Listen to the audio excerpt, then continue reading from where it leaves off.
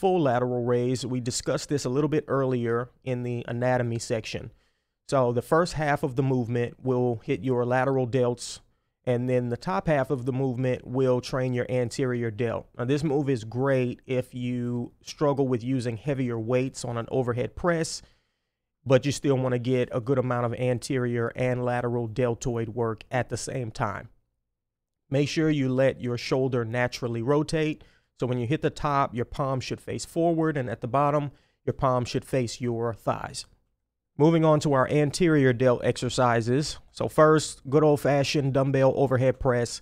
I do prefer dumbbells on overhead presses because it's going to be a little easier on your joints, although there's nothing wrong with a barbell overhead press.